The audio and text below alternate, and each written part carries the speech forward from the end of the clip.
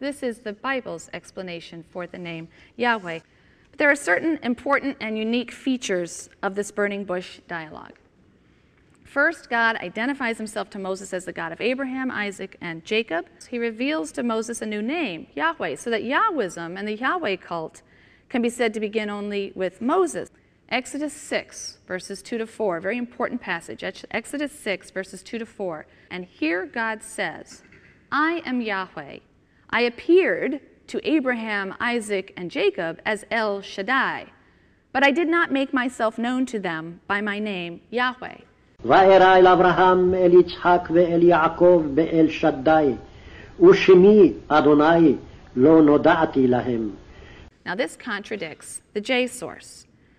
And many scholars have suggested that P and E preserve a memory of a time when Israel worshipped the Canaanite god El. P and E wish to claim that the God who covenanted with the patriarchs is the God of the Exodus, but now with a new name. God is six times called El Shaddai. Other names are El Elyon, El Olam, El Roi, El Bethel. You can see the translations of these. The everlasting God, God Most High, a God of seeing, the God of the house of God, and so on. El is the name of the chief God in the Canaanite pantheon. It's an important set of texts that were discovered at a place called Ras Shamra. Ras Shamra was ancient Ugarit.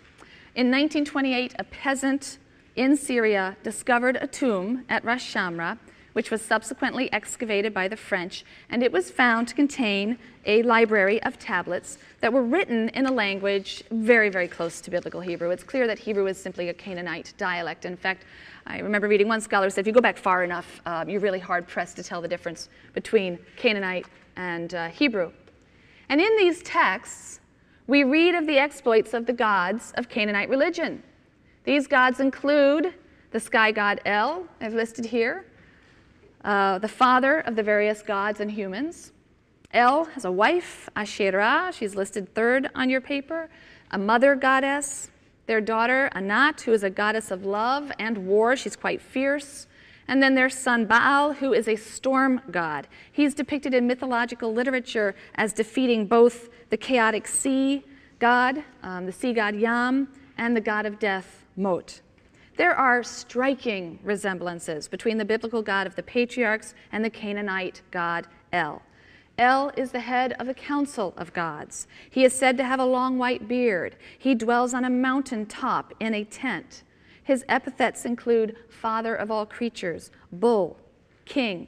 He is also described as the protector of patriarchs, patriarchal figures, a god of the father of the clan, it says in the text. He guides them, he protects them, he promises them descendants.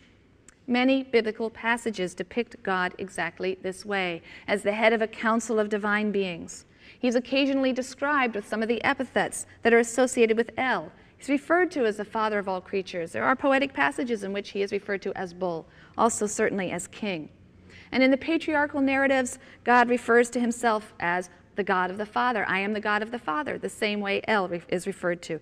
He guides and protects the patriarchs. He makes promises of progeny to Abraham and his heirs.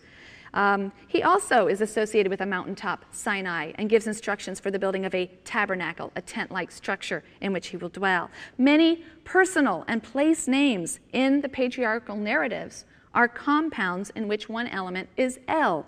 Yisrael, Yishmael, Beth El. El is the God of the patriarchs. By contrast, after the time of Moses, Israelite names start to be formed using Yah or Yahu as part of the name Yahweh. Elijah in Hebrew is Eliyahu. So you start to have theophorics, names that use the name of a deity, which are using forms of Yahu instead of El. Yahoo!